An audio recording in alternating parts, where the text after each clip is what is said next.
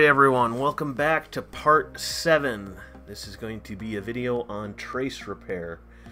Now, I have this original Xbox, I picked it up recently, not working, I got it for free. And um, I'm going to show you what happens when we try to press one of the power buttons. We get nothing coming out of it at all. If we press the eject button, we get a quick light and the fan starts to spin and then the fan goes out. There's something going on here. It does this with all the components plugged in. So, and I want to show you what I found. This is the underside of this motherboard. As you can see, from here to here, a trace is broken. And from here to here, another trace is broken. What we'll have to do is locate solder points for these two traces and solder a wire in between them. Those aren't the only points on the board that are damaged though. As you can see in this screenshot, there are several points where the trace has been damaged. I'm sure you can guess by now which component caused these failures.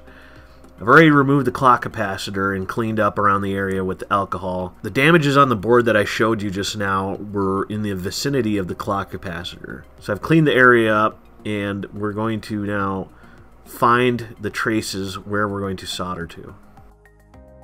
I've gone ahead and labeled the points here in the screenshot, C1, C2, and C3.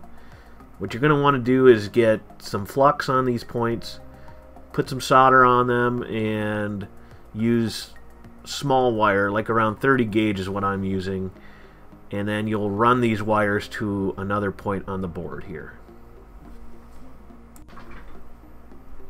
Now, if you follow the trace path all the way up around the board, you'll find these three solder points. They're really close to where the IDE connector is soldered into. You're going to want to solder wires to C1, C2, and C3. Add some flux to the board, put some solder down, and then solder the wires into these points. So here I am filling in these solder holes and putting down wire C1 I am getting flux on the board up by the IDE port and putting some solder down into these holes. Putting cable C1 right here. And then here's C2. And here's C2 on the other side. I'm going to add a little bit of solder over to the C3 point right here.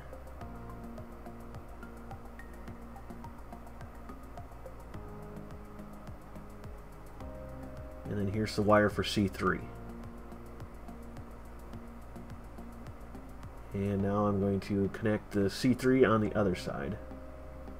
Now if you have some bad traces like I do underneath the clock capacitor, you can solder wires to these points for C4 and C5. And here are the points on the other side to connect to.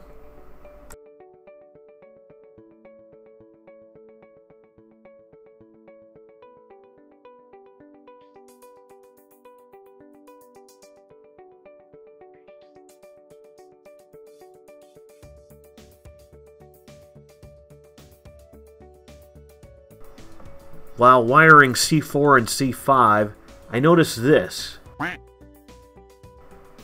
Looks like I'll have to wire up C7 as well. I'll wire up C6 just in case it's broken somewhere and I can't see it. But it looks to be healthy, but we'll just wire it up anyway.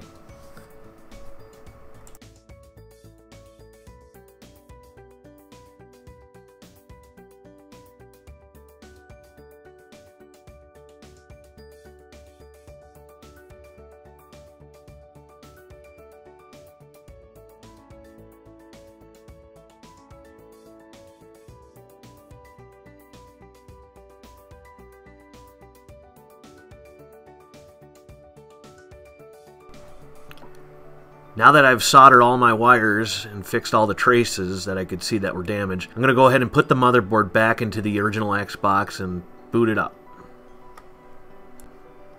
Alright, here we go. Let's see what happens. It's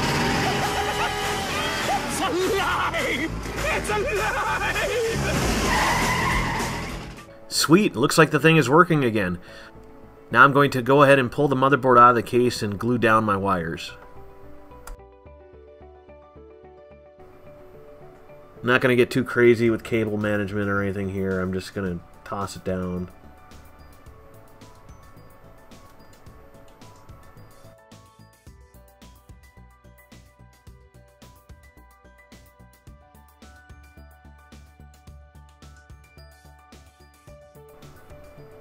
Then I'm also just going to perform a TSOP while I'm at it.